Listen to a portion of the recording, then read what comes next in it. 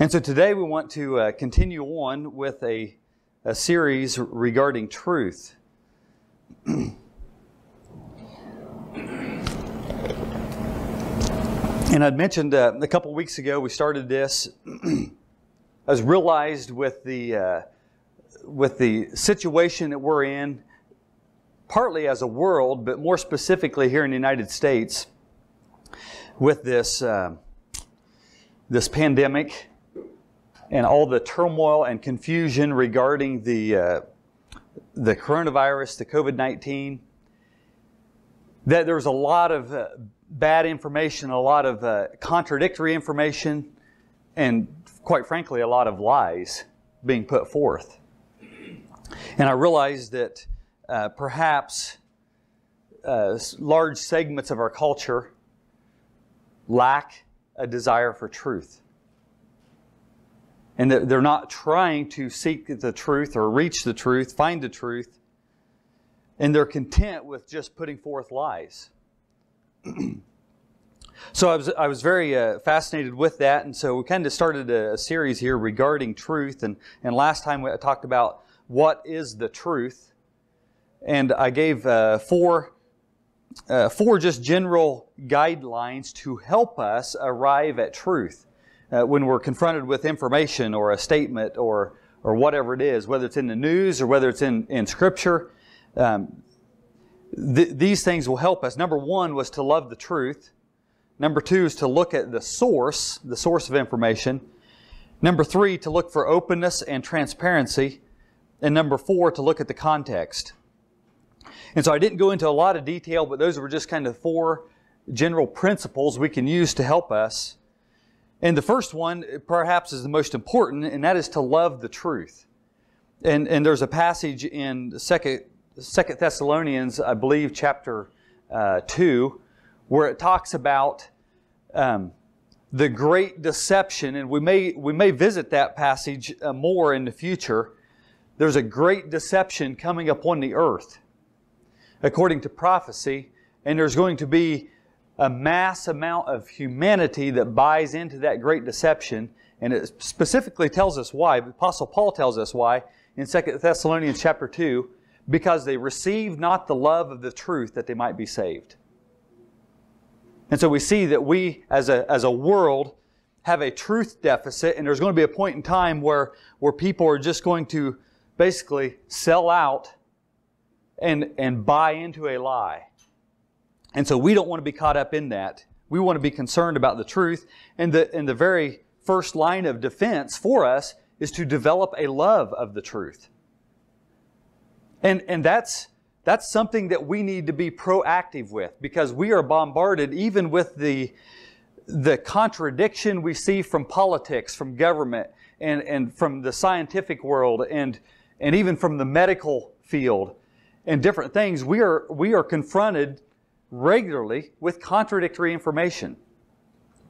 And so it's easy, and that's okay. It, we won't sort out everything. We won't always get to the bottom of every contradiction that we're confronted with in, in this life. That's okay. But what we don't want to do is, is develop this attitude of, of carelessness, this attitude of apathy towards truth. And that's easy to do because it's easy just to get discouraged with it all and to be frustrated with all the information that's coming at us and just kind of shove it away and just develop the attitude we really don't care. I'm just going to live in my little circle, in my little bubble, and put on cruise control through life. That's easy to do. And so I'm not saying we need to, to um, overextend ourselves in trying to get to the root of every conflict, every contradiction. To, you know, we could become easily too bogged down doing that. But neither do we want to develop apathy towards the truth. We should have a love of the truth. Secondly, look at the source. And, and the Bible lays out a principle. Um, God details it several times throughout Scripture about the, at the mouth of two or three witnesses, every word will be established. God uses that principle in, in, in sharing truth with us. The Word, the Word of God in the Bible, the, the books of the Bible written by different men, correspond. There is a relationship, there is a connection where we can establish the, the, and verify the truthfulness of it. And also the truth of God from a moral standpoint, God's moral truth resonates within us. That is a witness to the truth. And then we have God the, the Son and God the Holy Spirit all bearing witness to the truth of God's written word. and so there's even as we look around us, you know, we can look at the source of the information being given us, and sometimes we realize by investigating the source that is not a trustworthy source. So that can that can lead us to um, maybe dismiss some of the information that they're giving us. And the third point, looking for openness and transparency. Uh, that also is important because with, with if someone is trying to impart truth, they will be open and transparent. What happens with a lie is there is things hidden. There are secret things. They, they want to withhold information or to take statements out of context and push it to put a new, spin a new context on it to give it a new meaning. And so there is, there is the deception, the, the uh, secrecy, the hiddenness, the, the lack of transparency, the, the issue of holding back information. That should cause us to be suspicious, to be, be concerned about the information coming from that source. so we can look for openness and transparency. And then the fourth is to look at the context. Look at the context of what is being spoken. And that makes a big difference because I can make a statement and you take someone across the world, and I, I didn't really come up with a, a, specific example, but you can take someone across the world in a third world country in Africa that can make the same statement, and it would maybe be perceived totally different because of their context. You know, it might have to have something to do with work, or or uh, money, or food, or whatever. The context I'm dealing with here in America is entirely different than some third world countries. And so when, when, uh, when you look at the source of information or a specific statement, and that's what I'm thinking of more, more importantly, a specific statement, there is always a context in which that statement is made.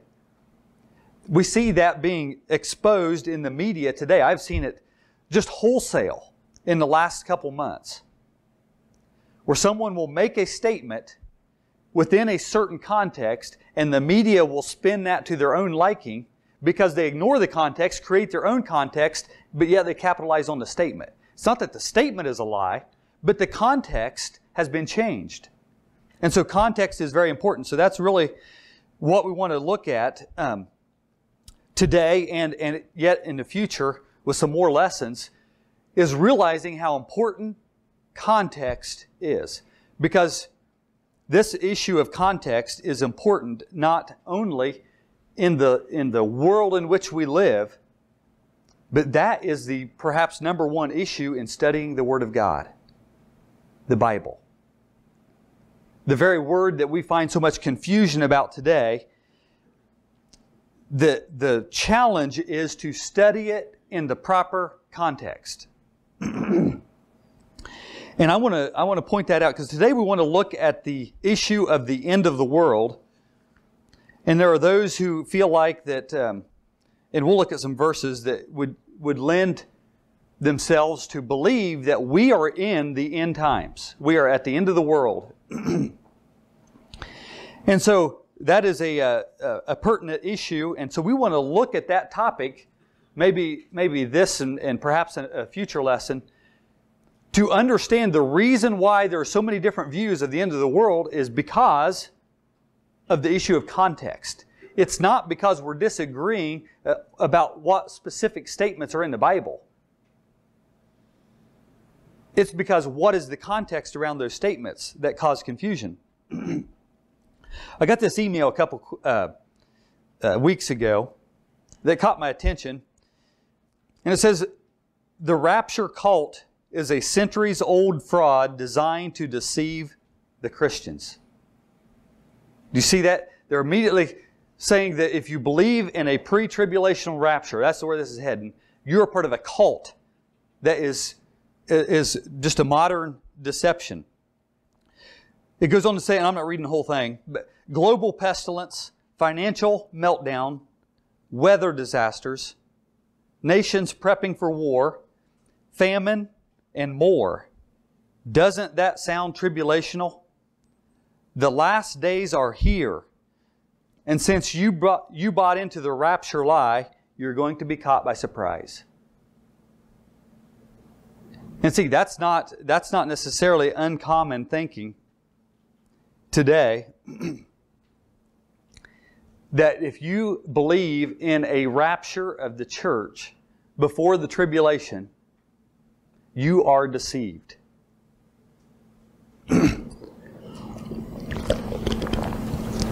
And well, that's, that can be a big deal because the Bible talks a lot about the end of the world. And some of the things that are going to happen at the end of the world are, are things that, uh, if we're going to be expecting to live through that time, we want to be prepared and aware of it because it's pretty serious. Um, you can turn to Matthew 24. We'll look at a couple verses. and I want to show you that when we talk about the end of the world, the, the dispute, the differing of opinions and views are not because of the verses. The verses are there, and the verses mean what they say, and it's clear on what they say. Matthew 24, and we'll look at verse 3. Um, well, verse 1. We'll just start in verse 1. Matthew 24, 1. And Jesus went out and departed from the temple, and his disciples came to him for to show him the buildings of the temple. And Jesus said unto them, See ye not all these things? Verily I say unto you, there shall not be left here one stone upon another that shall not be thrown down.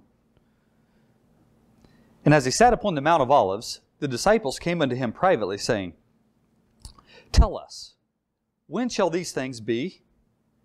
And what shall be the sign of thy coming and, and the end of the world? Notice that's the question that starts into the dialogue of the whole next two chapters of Matthew.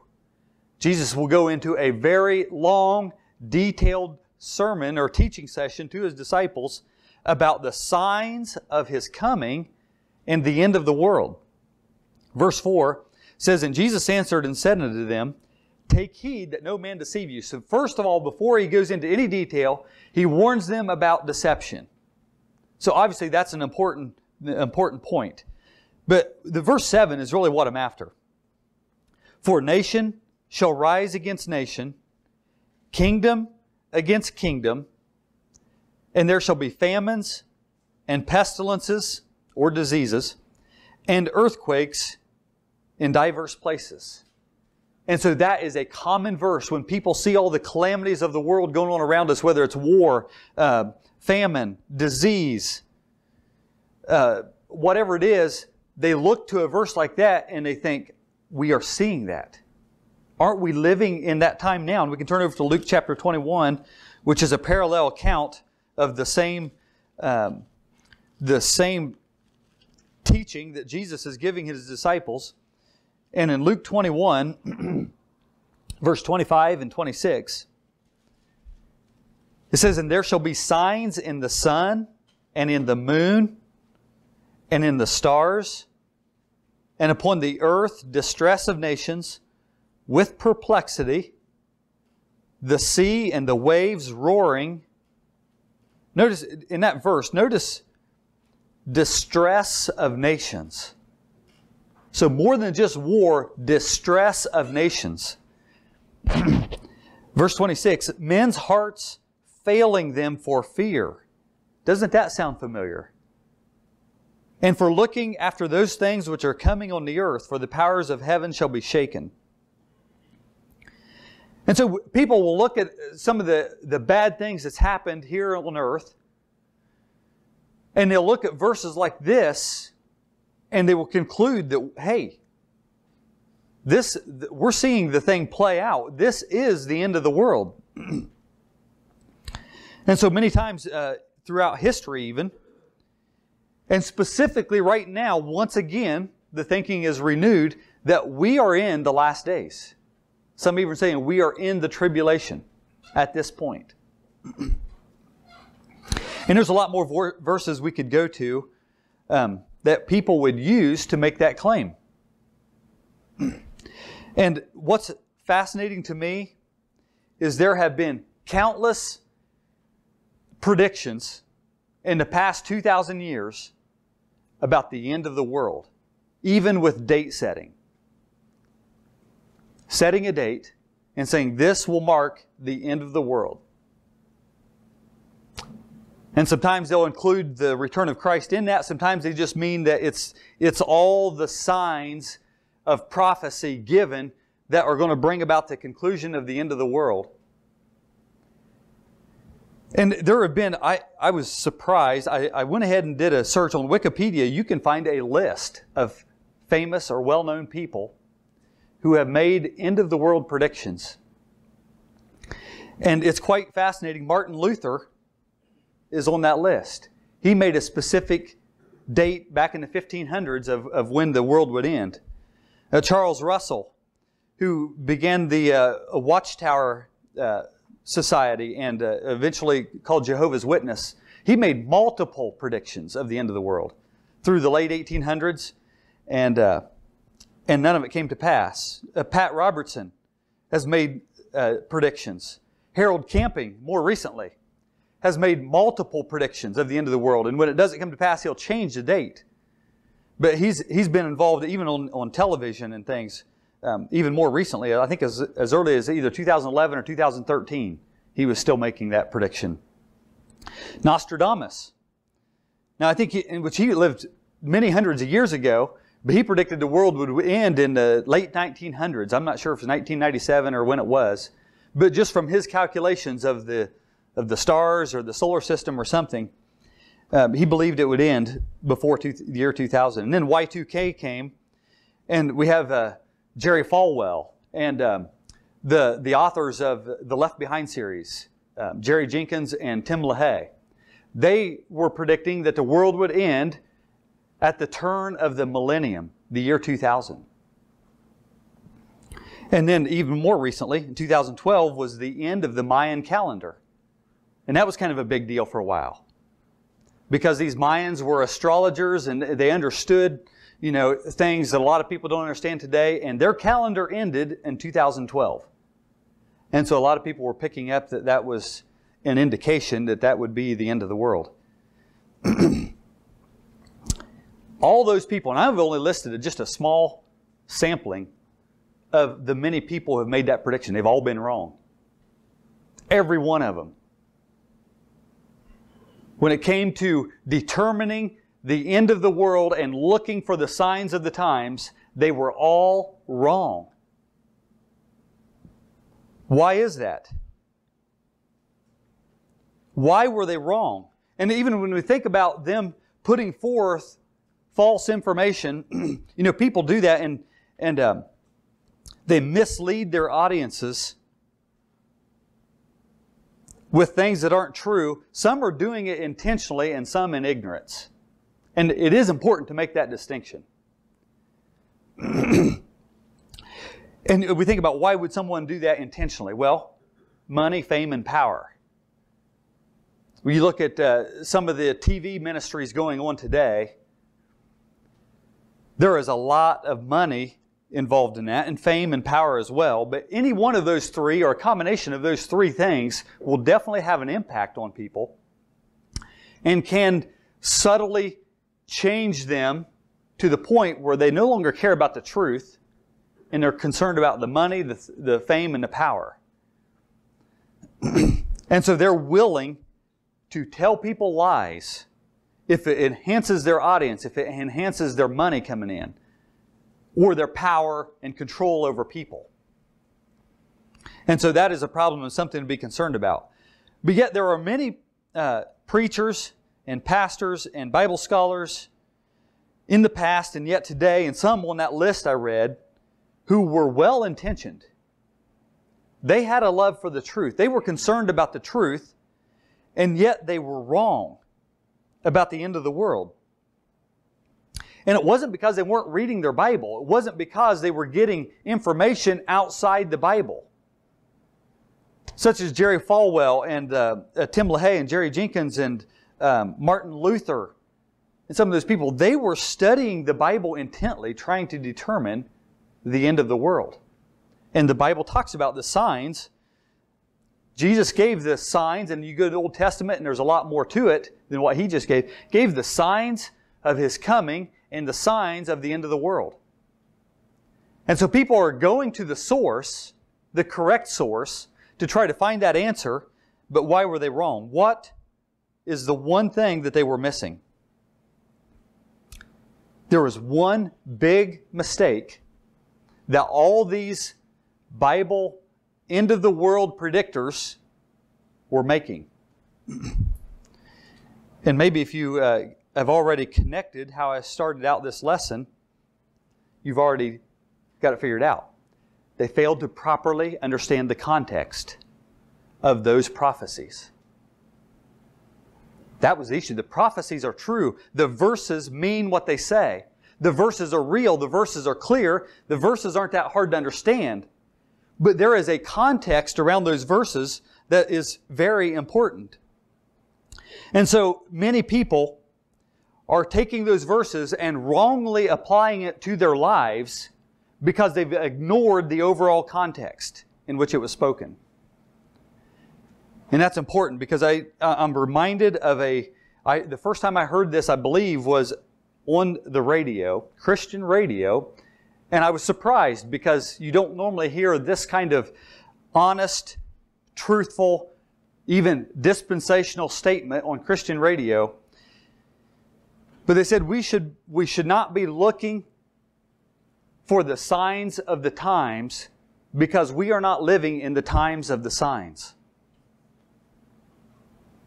Now pay attention closely. We should not be looking for the signs of the times because we are not living in the times of the signs. In other words, there is a specific context in which Jesus talked about these times of the signs, and that is a scriptural phrase the times of the signs. And there is a specific context in which he talked about those things. And, and he was giving it to a specific audience for a specific purpose under a specific context, and we are not living in that context. We are not living in that time. That's what all these Bible predictors have gotten wrong. It's not that they were ill intentioned, and it's not that they were not good Bible scholars, but they failed to look at the overall context. Now look at 1 Corinthians or 1 Thessalonians chapter 5. 1 Thessalonians chapter 5.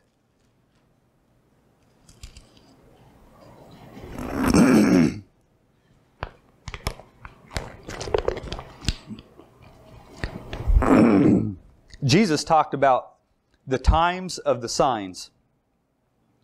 And he mentions that uh, he talks about signs a lot. Just that chapter 24 of Matthew that we looked at, he talked about the signs of the coming. And earlier in, in chapter 16, he specifically uses the phrase um, signs of the times. but here, in chapter, uh, chapter 5 of 1 Thessalonians, Paul is writing to the Thessalonians, members of the body of Christ, and he says, But of the times and the seasons, brethren, Ye have no need that I write unto you. now, that, and, and, I think we'll come back and look at this uh, passage in a little bit, but that is a pretty bold statement. Because where the disciples asked Jesus about the signs, and they were confused about the end of the world, Jesus gave them a lot more information about the signs. He enhanced their understanding. He took a lot of time to lay it all out for him and to explain everything. And so you can take Matthew 24 and go back in prophecy in the Old Testament and tie things in, especially with Daniel and, and some of the others as well, and see how it all works together. Jesus was enhancing their understanding of the times of the signs, or, or the times and the seasons and the signs of the times. But here Paul says, But of the times and the seasons you have no need that I write unto you. Why does he say that? Because we understand now that Paul was talking in a different context. He was dealing with a people in a different time. And so we, we see this, this issue of the times and seasons and signs of the times, we now see in a different light because we're not in the same context. So we want to look at that. Um, we are not just picking and choosing verses when we say that. and for me to, and here's one thing I want to be clear about. For me to say, to stand up here, even looking at this uh, COVID 19, and to say emphatically, we are not living in the end of the world. we are not living in the end of the world as described in Matthew 24. For me to emphatically say that is not arrogant. And I'm not saying that because I feel like I'm smarter than all these other people. I don't feel like I'm smarter than Martin Luther. I am not smarter than, than Jerry, Jen, uh, Jerry Jenkins or um, Jerry Falwell or many of those people. the only difference is I have learned the importance of context. And, and so when you understand the overall context, that's what allows you to rightly apply specific verses to today's experience, to your life. But see, if you don't, if you miss the overall context, you will wrongly apply that. and so we are plagued with a problem as, as humans with what some people call tunnel vision. And maybe you've heard about that. Tunnel vision is when it's almost like you're looking in a tunnel and you can't see everything going on around. All you see is what is straight in front of you. It's like you've got blinders on. And so we call that tunnel vision. And we are plagued with that. We see that in the, in the society in which we live. Um, we, we all deal with that to some extent or another. But just think about what's going on right now with this um, uh, COVID 19 situation. Immediately, as this became a big deal, people's like, we, we've got to shut everything down. We've got to stay home. We're concerned about this virus. We're concerned about the death toll. We have got to stay home. Everybody has to isolate and stay home. And right away, I, I, I, I noticed it right away that we were having tunnel vision. We were concerned about one thing and we failed to look at the big picture because we need to look at, okay, what do we, we don't even know what, the, at that point, we didn't know what the death toll would be of COVID-19. But instead of looking at the projection of the death toll of COVID-19 and to look at all the fallout and perhaps death toll of, of isolation, of shutting down the economy and, and weighing the two options and say, how do we balance this? everybody just went wholesale. They just saw the one thing. They saw death from COVID-19. All, and so everything was focused on escaping death of COVID-19. Not realizing that maybe we were going to plunge ourselves into further destruction because of the fallout from that. Because we weren't looking at the big context. We had tunnel vision as, as a society. And so then, then um, we even talked about essential versus non essential. And now it's become a point where people are tunnel vision again. We've got governors who are, are just, it seems like going on an authority um, uh, rant, so to speak. So they, they can just arbitrarily choose who's essential and who's non essential. They have, they've, they've missed the context again. They got sucked in to this tunnel vision of determining what's essential and what's non-essential to try to get more people to stay home instead of looking at what the, the, the main issue, the overarching context to begin with is what is safe and what's not safe. And so many of them are missing the point. You know, there's a, there's a governor uh, north of here that has stated that being out in a boat is non-essential, so you can't do it but she's ignored the fact that maybe it's entirely safe. You can't plant seeds in your garden because that's non essential. But ignoring the fact that that may be entirely safe. And so, see, it's a tunnel vision. They get sidetracked. They, they, stay, they fail to step back, try to gain a better understanding of the context, and see everything going on, and they just get sucked into one thing. So now, even more recently, it's the mask. Got to wear a mask. And it's just everybody just, you know, focused in. Some states it's, it's mandatory. You have to wear a mask. But we're not seeing statistics on how much does a mask help how much does it hurt because it does hurt harm some people and what's the you know what's the the best outcome here it's just wear the mask wear the mask tunnel vision and so that is a problem and it's also a problem in studying the bible people look at a verse and they see the verse and the verse talks about war and famine and pestilence and they look at the verse and they look at the verse and they look around us and it's happening. We're in the end of the world. They fail to step back, look at the context.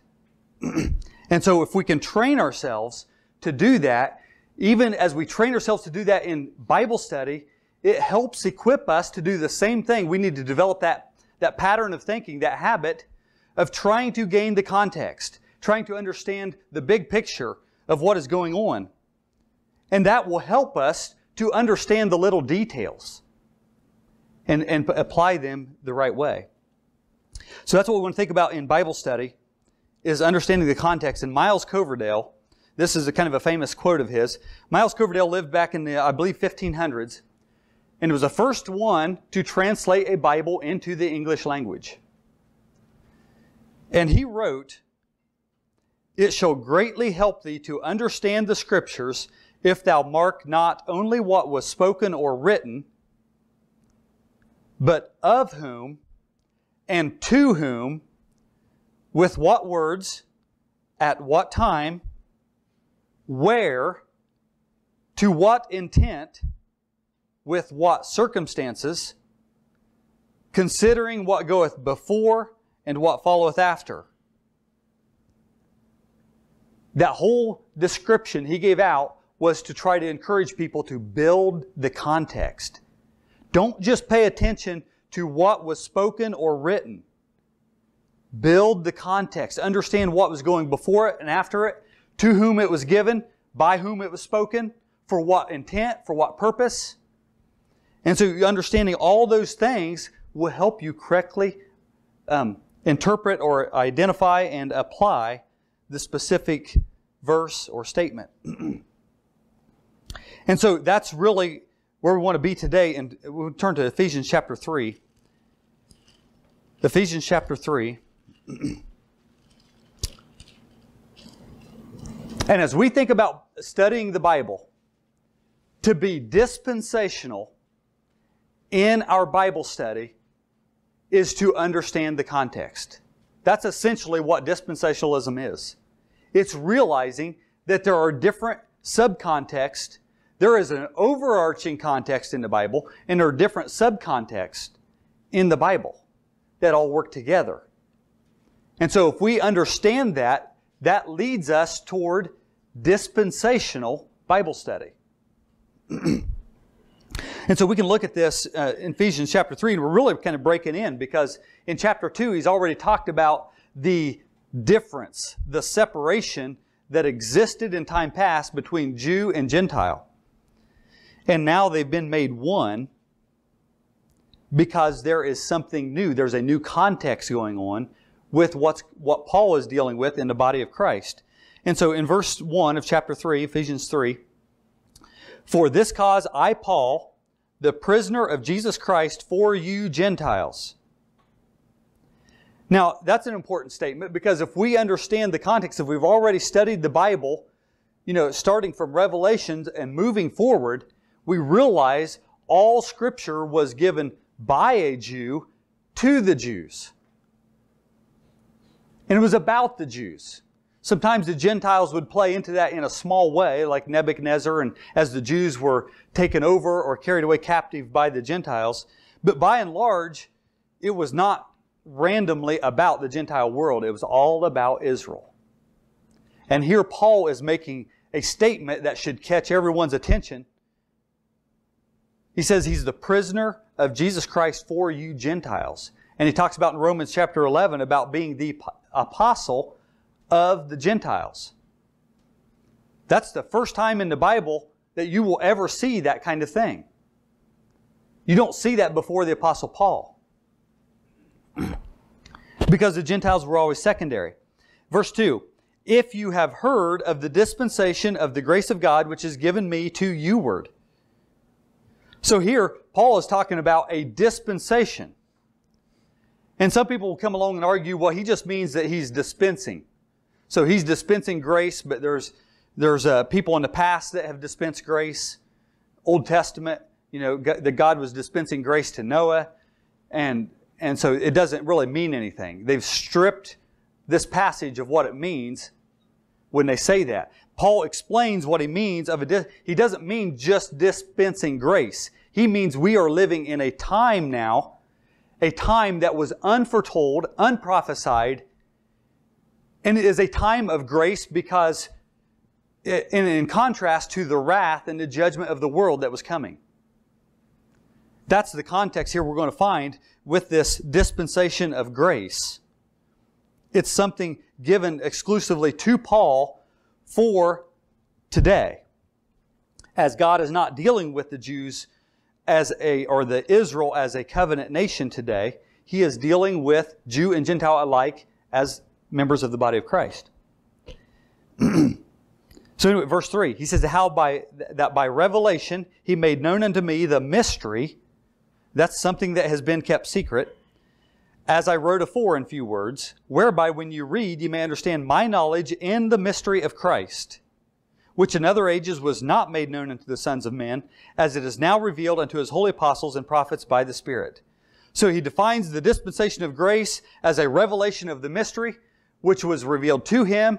It was not known prior to him. The Lord Jesus Christ gave it to him for us Gentiles. We learn about it through the Apostle Paul. Verse 6 that the Gentiles should be fellow heirs and of the same body and partakers of his promise in Christ by the gospel. Now, some people will again come along and look at that, that little verse right there and say, well, see, we're spiritual Israel because God was dealing with Israel right here. Uh, they didn't perform the way He wanted them to. And so now He's allowed Gentiles to come up here and join in with Israel. And so now we're spiritual Israel because we're all part of one body. But they've missed the context again because he's already dealt with the greater context here in Ephesians. He's already dealt with chapter 2 that it was not Gentile blending with Jews. That was prophesied.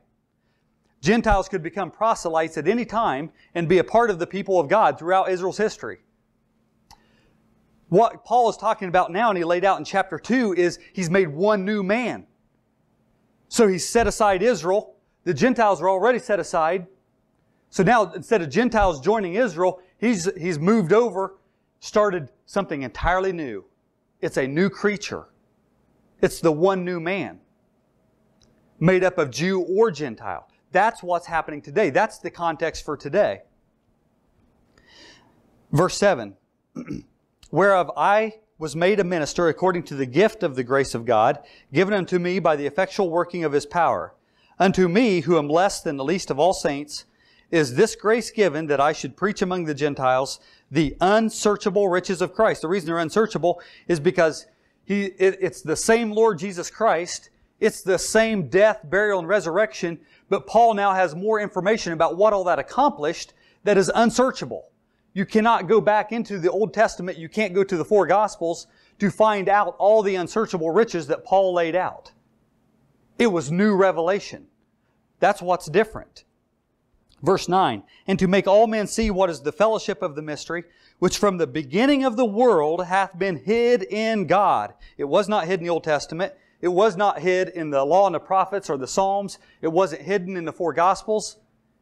It was hid in God until He revealed it through the Apostle Paul.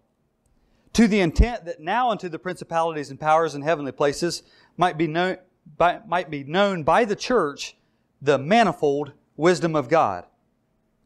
And so, to be dispensational in our Bible study means we're looking at a bigger context. in fact, we could turn back to uh, Ephesians chapter 2 And we're going to see some, some words that help us in this context, this, this dispensational context, to understand the Word of God. uh, look at verse 11. Ephesians chapter 2, verse 11. Wherefore, remember that ye being in time past Gentiles in the flesh, who are called uncircumcision by that which is called the circumcision in the flesh made by hands. Notice that word time past because that is a time element there. And Paul is talking about what the Gentiles look like in time past.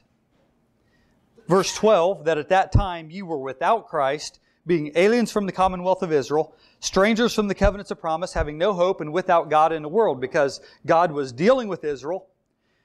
The Gentiles had rebelled, and so ever since the Tower of Babel, God had focused his attention on Abram, changed his name to Abraham, developed a nation from him, the chosen nation, gave them covenants and promises, and God was dealing with Israel from that point forward.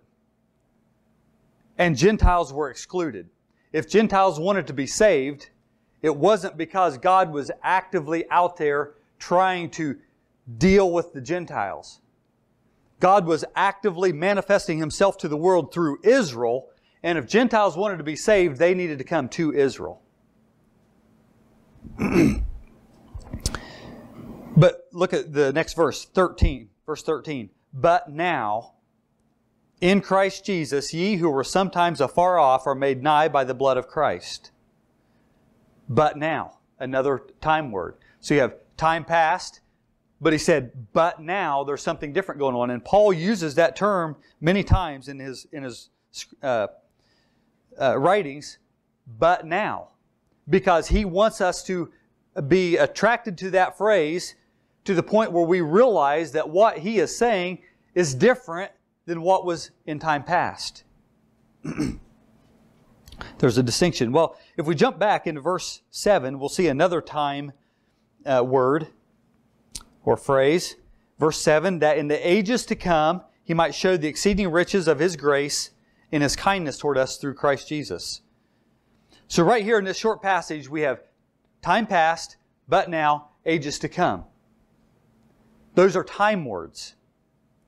They help enhance our context, our understanding of the context of what is going on. And so that's, that's really all that this chart is laying out. This chart behind me is providing a context in, in, in graph or picture form of the Bible.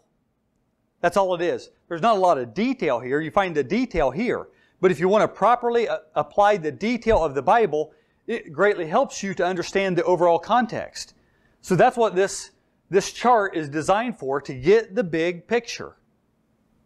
So we've got the time past that we just read about.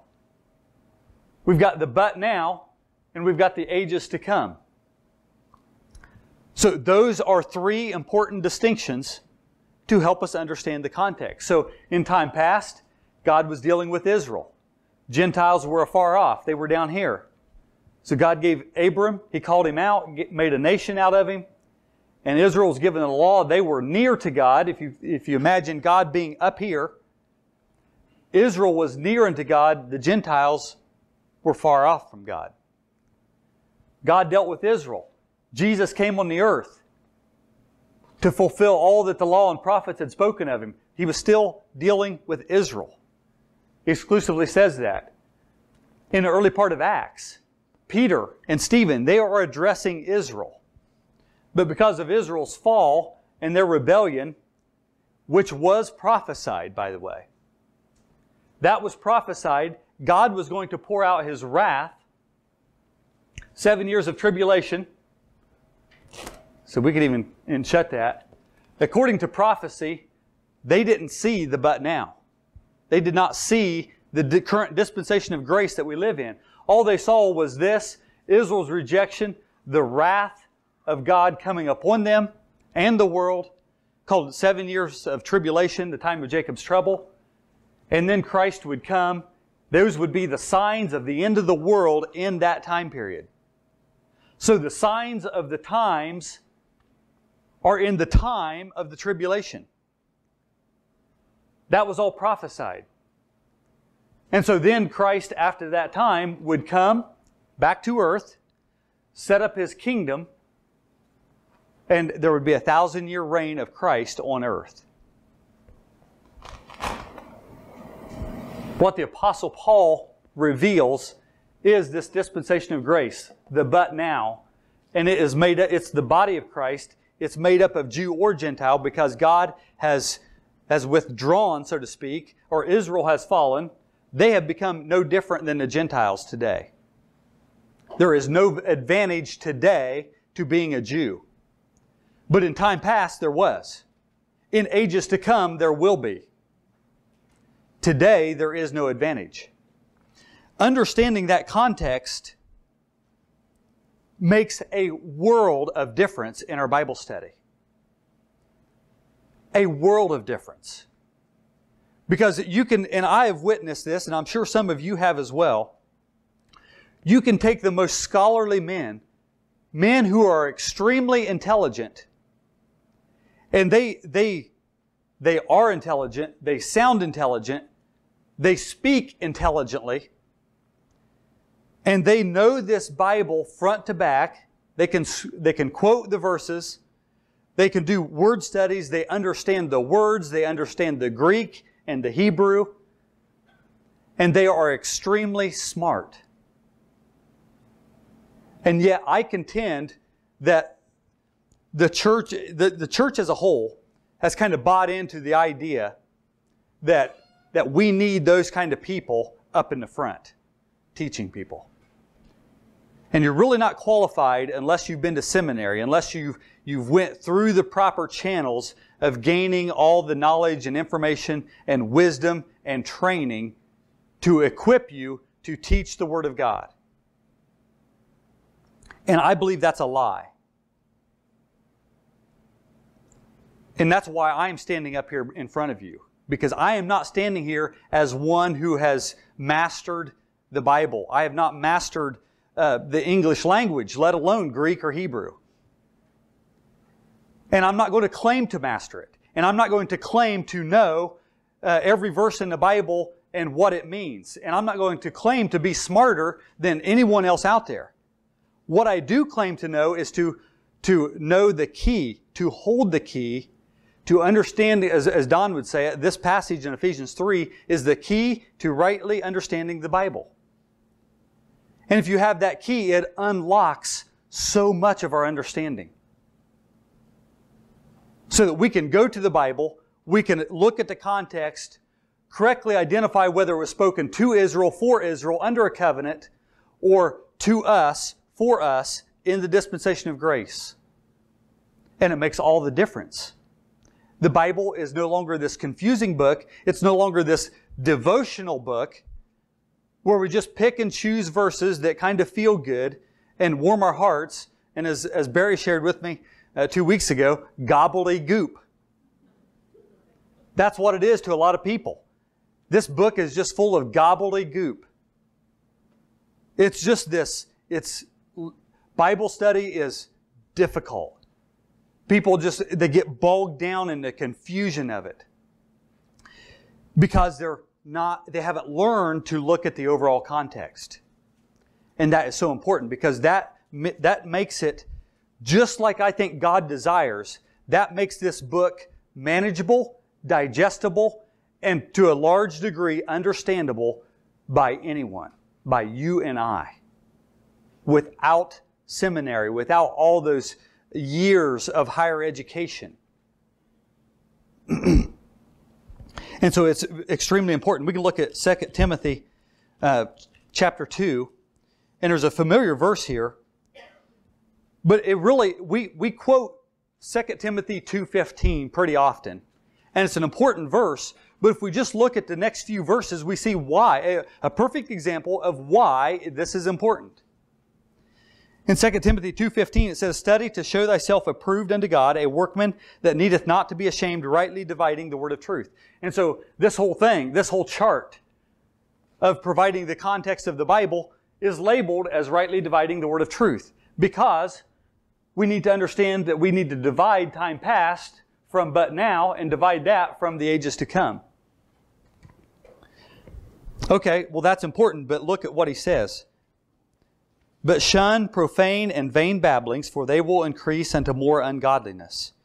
Now, that's kind of an interesting uh, study just to look at those, the profane and vain babblings have, have to do with the Word of God. Profane is, is taking something that belongs to God and twisting it for a, the wrong purpose. That's to profane it. In the Old Testament, Israel was warned against profaning the instruments of the temple. Because it was taking the instruments of the temple, using it for idol worship or for things that God did not intend. The same thing happens with the Word of God. When we take the Word of God, we isolate a passage, we pull it out of context, we apply it to the wrong people, warn people about the, the wrath of God or the, the tribulation period or the mark of the beast, we are profaning the Word of God. And it's vain babblings. For it says, they will increase unto more ungodliness. Verse 17, and their word will eat as doth a canker, of whom is Hymenaeus and Philetus. Notice verse 18, who concerning the truth have erred, saying that the resurrection is past already and overthrow the faith of some. You see how he just gave us an example of why it's important to rightly divide the word of truth. Because actually, if you study the, the Bible, there are uh, perhaps four different resurrections mentioned. There is a resurrection that took place with Christ. And remember, if you go back and read that account, it was not just Christ. It says many in the graves. It says many of the graves were, were opened up and the saints walked the earth that had been dead. So when Christ resurrected, there were many who resurrected with him. But that is one resurrection. And then there's another resurrection that the Apostle Paul talks about. That's when we call it the rapture. And that's when this dispensation of grace comes to a close. And we're to look for the Lord in the air. That is a resurrection. Well, and then we are also confronted with the, the resurrection in prophecy when Christ comes to set up his kingdom on earth. All these Old Testament saints Abraham, David, even Adam, Noah, they will be resurrected to go through that promised kingdom on earth. And so there's a resurrection at the, at the beginning of this kingdom. And then there's also a resurrection. Uh, Jesus mentioned it, warned of it in uh, John chapter 12, I believe. And, uh, and Revelation chapter 20 talks about it. It's a revelation or a, a resurrection of the unjust at the great white throne judgment. So right there is four resurrections. So you see how it's importantly to rightly divide the word of truth because here Paul was confronted with people who were teaching that the resurrection was past already. Well, the next resurrection that we're dealing with is the resurrection of the body of Christ. The rapture. And so if that is past already, and the, he, these two leaders here in the church had convinced people they had missed it. That means that they were not saved and it's, oh, it was overthrowing their faith. They were bothered by that because they had been told by the Apostle Paul to look for the Lord's return and that they would be resurrected and they would all meet the Lord. And here there come along people say, No, you missed it. We're actually now in the tribulation period. We're actually now moving on to the end of the world. And it overthrew their faith. and so it's importantly, important to rightly divide the word of truth.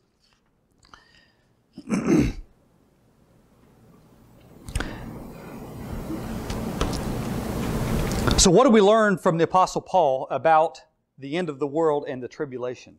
He has some things. So that was laid out in detail in prophecy. And the Apostle Paul comes along says, I've been given a revelation of the mystery. We are no longer living in that dispensation. We are in the dispensation of the grace of God, which was kept secret. It was unforetold. It was hid in God. And so the things happening today are not the end of the world. It's not the tribulation. It's not all those things that were prophesied that would happen to Israel. But Paul has, does have to deal with that because there is confusion regarding that. And we find uh, an example of that in uh, 1 Thessalonians. We'll look there first. 1 Thessalonians chapter 4.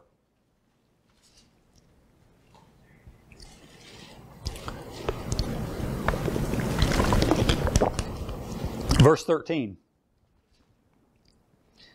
But I would not have you to be ignorant, brethren, concerning them which are asleep, that ye sorrow not, even as others which have no hope. For we believe that Jesus, if we believe that Jesus died and rose again, even so, them also which sleep in Jesus will God bring with him. For this we say unto you by the word of the Lord, that we which are alive and remain unto the coming of the Lord shall not prevent them which are asleep. For the Lord shall descend, himself shall descend from heaven with a shout and the voice of the archangel, with the trump of God, and the dead in Christ shall rise first. So he's saying, we're, we're going to be caught up to meet the Lord in the air. But he said, we in no way hinder those who have already died in Christ.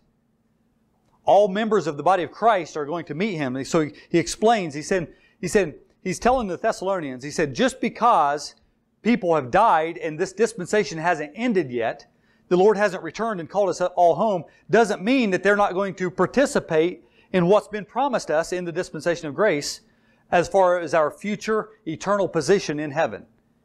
He said that is not taken away just because they die. In fact, they are going to rise first, he says. Those who have died in the Lord will rise first, and we're not going to hinder that just because we're alive. Um, verse 17, then we, we which are alive and remain shall be caught up together with them, those who have rose from the dead, to meet the Lord in the air, and so shall we ever be with the Lord. Wherefore, comfort one another with these words. So that's supposed to be a source of comfort. The words that he has just laid out is supposed to be a source of comfort. Look at verse 1 of chapter 5. But of the times and seasons, brethren, ye have no need that I write unto you. That's verse we just read. But notice the pronouns as we go through this. Paul's going to talk about this times and seasons to try to clarify or to uh, give them a better understanding. He says, Of the times and seasons, ye have no need that I write unto you, for yourselves know perfectly that the day of the Lord so cometh as a thief in the night. So the day of the Lord is this prophetic end of the world. He's telling them, you don't need for me to write unto you of the times and seasons because you know that that's out here coming as a thief in the night. Verse 3 For when they, in other words, he's changed now. He's not talking to you as Thessalonians. When you shall say peace and safety, it's they, that group of people. When that group of people say peace and safety, then sudden destruction cometh upon them, as travail upon a woman with child, and they shall not escape. But ye, brethren, you Thessalonians, you in the body of Christ, are not in darkness, that that day should overtake you as a thief. Ye are all children of the light, and children of the day. We are not of the night, nor of darkness. And all you have to do is look at different Paul explains this in further in uh, Romans chapter 13, and you go back in prophecy and you realize this day of the Lord is called darkness. This whole time of, of seven year tribulation is called, is called a time of clouds and thick darkness, a time of desolation, a time of destruction. Paul says, You are not part of that. You are children of light. You're not going to live through that time period because of this catching away to meet the Lord in the air. uh, we could continue on. Verse 6 Therefore let us not sleep as do others, but let us watch and be sober. For they that sleep, sleep in the night, and they that be drunken are drunken in the night. But let us who are of the day be sober, putting on the breastplate of faith and love, and for an helmet the hope of salvation. For God hath not appointed us to wrath, but to obtain salvation by our Lord Jesus Christ. That's why we live in the dispensation of grace. That's why it's called the dispensation of grace, because this time of wrath was ready to come before the Lord Jesus Christ saved Saul of Tarsus and gave him the information regarding this dispensation of grace. So now in grace, we have not been appointed to this time of wrath. We have been appointed to salvation to meet the Lord in the air before this time of wrath takes place. So that's kind of what he's laying out here. God hath not appointed us to wrath, but to obtain salvation. Salvation from that wrath.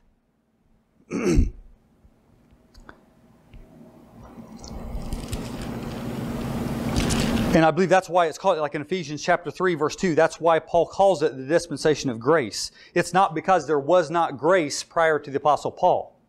It's not because Old Testament saints did not receive grace. They did. So we are receiving grace today, but it's not that they were under only law, only works, you know, no grace, and we are. It's that our whole dispensation was based on the grace of God so that we are going to be delivered from God's wrath. Whereas Israel was promised God's wrath if they disobeyed, which they continually did.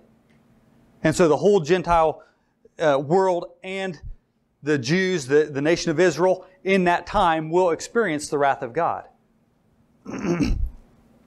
but Paul says that we are not. We are in dispensation of grace. If we look over to Titus chapter 2, uh, I think we're about ready to wrap it up here, but Titus chapter 2, I want to look at about three different verses here, or passages.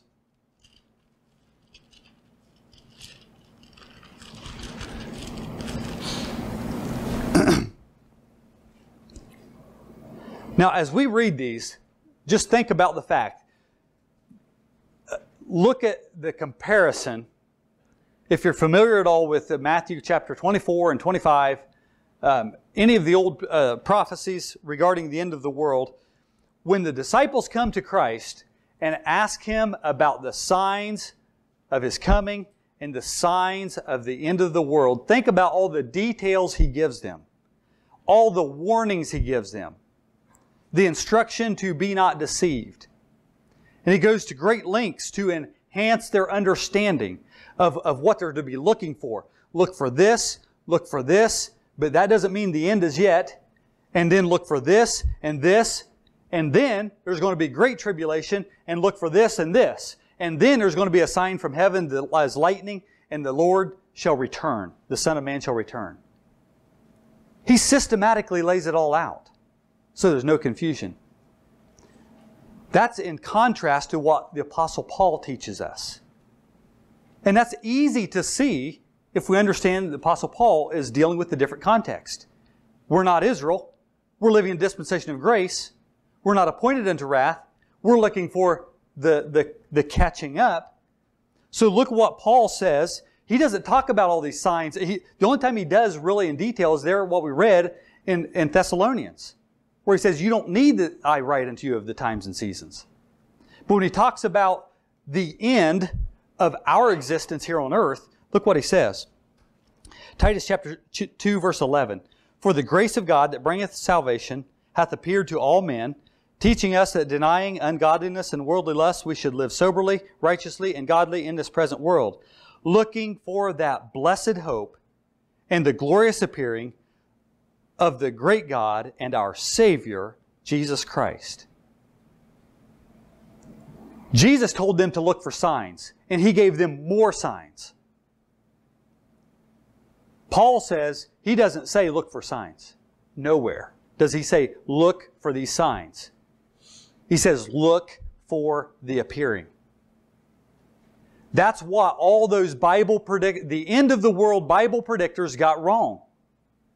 They were looking for signs. And the signs are detailed in the Bible. But we're not living in that context. We are not to look for signs, we are to look for the appearing. It's just going to happen one day. and look over to Philippians chapter 3.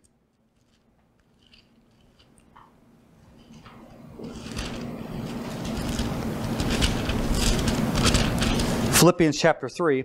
And, and by the way, Paul does warn about in the latter days. So as we get towards the end of this dispensation of grace, even though we have no idea what when that is, he warns of certain traits that are going to get worse and worse among men. But he doesn't give us signs to look for. You see, there's a difference. Philippians chapter 3, verse 20 says, For our conversation is in heaven, from whence also we look for the Savior, the Lord Jesus Christ, who shall change our vile body, that it might be fashioned like unto his glorious body, according to the working whereby he is able even to subdue all things unto himself. So again, that's consistent. We can, we can look over Colossians chapter 3. Paul is continually confronting his audience with look for the Lord. Look for his glorious appearing. Colossians chapter 3, verse 1. If you then be risen with Christ, seek those things which are above. By the way, we're risen with Christ because we have been identified already by believing the gospel. We are identified with Christ's resurrection, so we are already, in God's reckoning, seated in heavenly places. So we are risen with Christ. He says, Seek those things which are above, where Christ sitteth on the right hand of God. Set your affection on things above and not on things on the earth. For ye are dead, and your life is hid with Christ in God. When Christ, who is our life, shall appear, then shall ye also appear with him in glory. So that's what we're looking for the appearing of Christ. We're not looking for the signs. We don't, we don't live in the time of the signs. So it's, it's futile. We can study it, and I think it's good to, to look at the, the signs of the times and to look at prophecy and to have a good grasp of what's going on there. That is good. That, that benefits us in our overall understanding of the Bible. And specifically, it benefits us to help other people as they struggle with that. But the number one issue is to realize, and the number one issue that all Bible predictions of the end of the world have gotten wrong, is they failed to recognize we are not living in the time of the signs. That's why the, the, we got to look at the context, and you've maybe heard of this. Context is king. When we study the Word of God, and we go to different uh, passages, different verses, different words, context is king. In other words, that rules over everything. That's the most important thing. That's what Miles uh, uh, Coverdale was trying to get across. Look at the context. The next thing, major event that we are to look for, you and I as members of the body of Christ, the next major event according to the Bible that we are to look for is the great and glorious appearing of our Lord Jesus Christ, not the signs. So, anyway, Lord willing, we will take up um, the issue of, of truth and perhaps deal more with the end of the world.